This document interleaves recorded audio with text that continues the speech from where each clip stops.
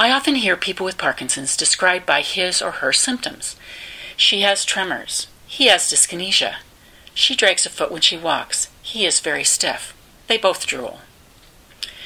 And although scientists and clinicians are familiar with these terms and what they mean, I often question whether they know what it means in terms of living with this incurable progressive disease.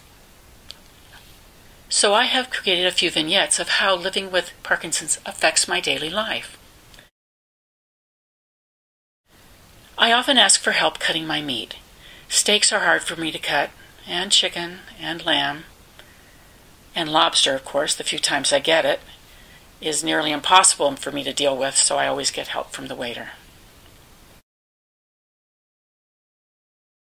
When I go to the movies, I sit at the end of the row because my moving with dyskinesia may bother people, or my leg may really be bothering me, and I may be more comfortable standing up.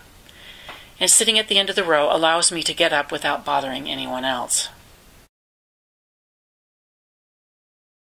I have never been considered a coordinated person, but these days I find I'm dropping and breaking more things than I used to.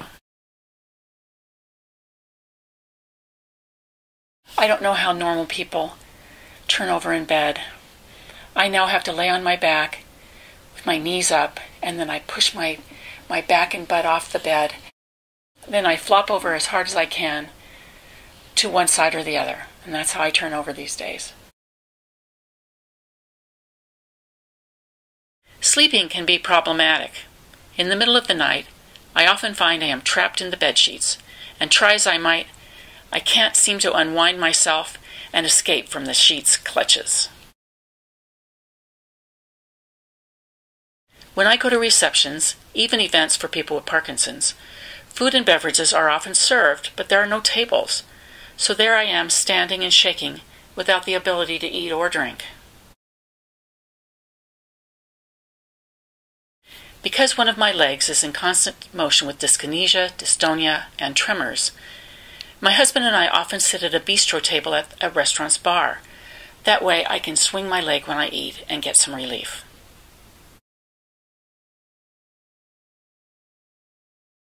About 30 years ago, I lost my sense of smell, which also affected my sense of taste, which was a shame. But on the bright side, I can't smell the kitty's litter box anymore. Taking a plane ride in the kettle car, oh, I mean coach section of a plane, can be a nightmare.